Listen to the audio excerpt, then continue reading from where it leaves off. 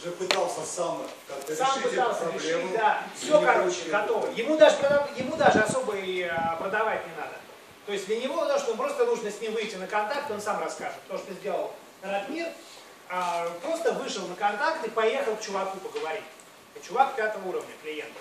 Значит, на первом уровне находятся клиенты, у которых есть проблемы, но они про нее не знают. Называется has the problem. У чуваков есть проблема, но они и не знают об этой проблеме. Второй уровень называется awareness. Ну, то есть чуваки в курсе о том, ну, что эта проблема есть. Awareness.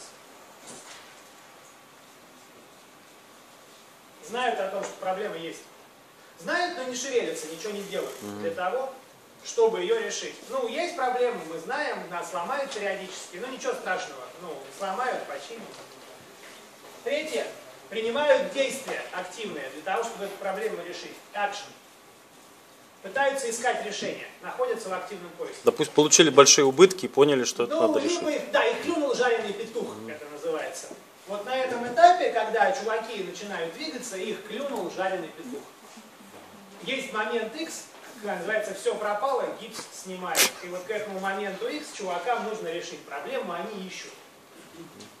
Допустим, проблема 2000 года. Да, пример один из, да, проблемы, да, 2000 года.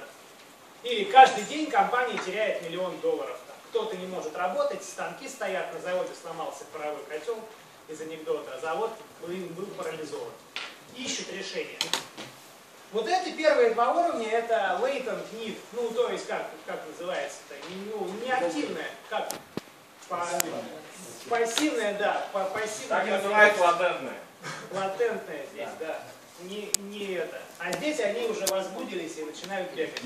Значит, а ищут, не- а если рынок новый не находят, пытаются сами собрать, как этот чувак пытается даже не- неизвестной компании узнать, что они могут предложить, чтобы собрать техническое решение. И этим хорош BioSecure кейс, потому что собрали решение техническое. Вы в самом начале не продаете всем подряд, не этим вы не продаете, вы собираете техническое решение для тех, кто уже пытался решить, но не получилось.